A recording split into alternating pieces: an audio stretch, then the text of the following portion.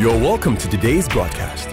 Sure Destiny TV, reaching people and touching lives. Hello, friends. This is Dr. Haruna Goroh. I'm calling on Lagos State indigenes. Show to Jagaban, show to Tinubu, show to APC that we are not joking. Those lying numbers that they gave to our principal, Mr. Peter Obi, we will show to them the rigging that they did is already being exposed, but we are not relenting. So I'm calling on everyone from Lagos State go in your numbers and make sure you elect our Labour Party candidate, Arc Gbadebo. You need to elect him.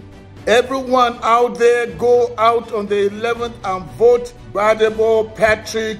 He is the man that will turn Lagos around. Lagos is the place where everybody can call home. Can you imagine what Lagos would be like to have a cutting edge, modern, young, and vibrant architect, Patrick?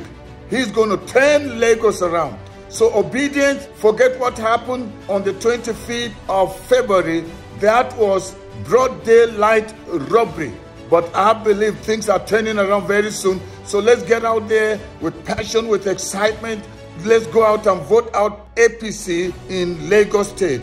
We need Labour Party so that your labor will not be in vain. Patrick is the man that will transform Lagos State into a state that everyone will love to live in. We're taking Lagos by storm. Don't be afraid of the thought they will not be able to do it this time around. Go out with excitement and cast the transforming vote that will change Lagos and make people begin to smile again. I know we're going to be celebrating very soon because we're taking Lagos by storm. God bless you.